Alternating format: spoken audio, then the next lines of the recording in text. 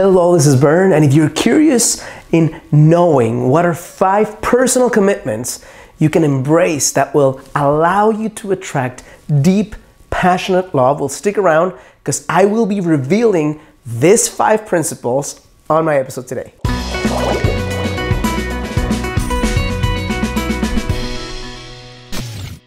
Hello, this is Bern. Welcome to your great lifetv.com. Today is another edition of Get the Love You Crave, and I'm incredibly excited to be sharing with you five personal commitments that you can embrace and fully step into that will allow you to create deeper, more passionate, more fulfilling, and more lasting love in your life.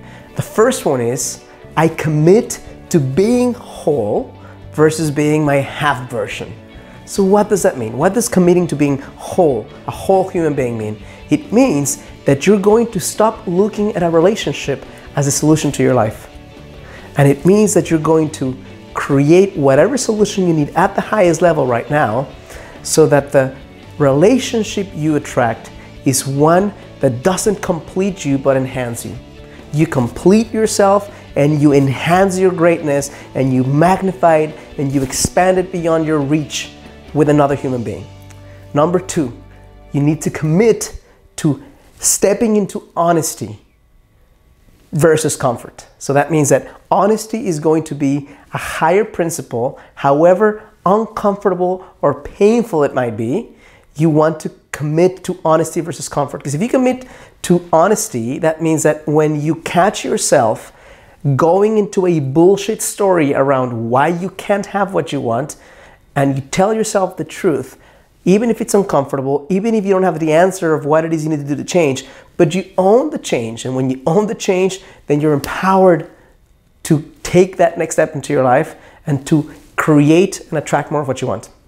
Number three is commitment to embodying self love. Okay? And embodying self love goes beyond the intellectual thought about I love myself embodying self love, the commitment, lifelong commitment of embodying self love means committing to embracing your imperfections, committing to embracing your body exactly as it is right now. I'm not saying you can't change it or improve it. I'm not saying you can't change or improve yourself, but you say, you know what? Fuck, right now, I'm a pretty awesome human being and I want to get better in these ways, but that doesn't subtract from who I am right now.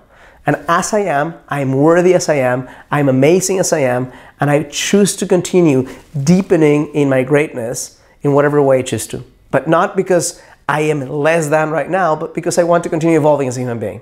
So you embody self love as a true commitment. You own your sexiness, you own your curves, you own your every part of you as it is right now. Number four is the commitment to expressing you, expressing your uniqueness, your you ness.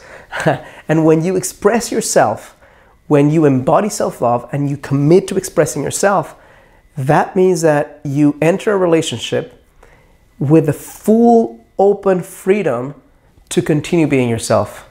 When you enter a relationship with this false self, a sense of self, meaning you, you, you enter a relationship shying away from who you really are, kind of not expressing your fullness, and then you have to keep it up. It's so exhausting. It's so fucking exhausting to connect with someone and kind of want to have them see only the best in you and never allow them to see all parts of you. And then you have to keep up that facade.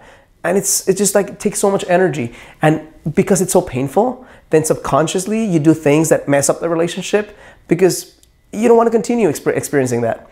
So if you start the relationship by expressing you at your fullest, that means that if the guy stays, he stays based on reality, not on bullshit.